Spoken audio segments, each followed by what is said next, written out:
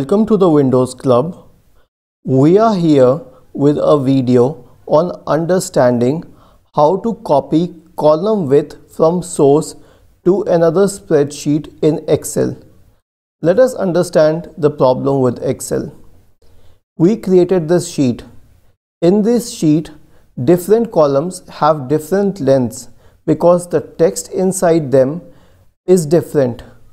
However, if I try to copy it by pressing Ctrl plus copy and pasting it to another Excel spreadsheet by pressing Ctrl plus V, the column width does not remain the same.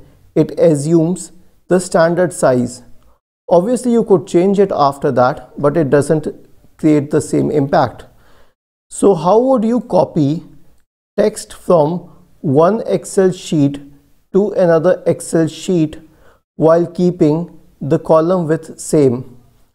This has been explained in this article on the Windows Club. We would be sharing the link in the description section. To copy it, select the text, press Ctrl plus C or select right click and then copy and go to the next sheet do not press Ctrl plus V. Click on the first cell in the range in which you need to paste the data. Then under the Home tab, go to Paste. Click on the downward pointing arrow to open Properties. These are Paste Special Functions.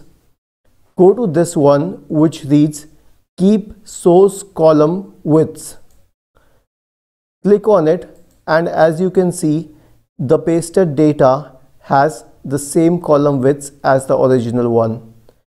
Isn't it easy?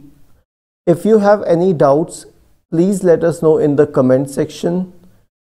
Do not forget to subscribe to the channel. Thank you for watching this video and have a nice day.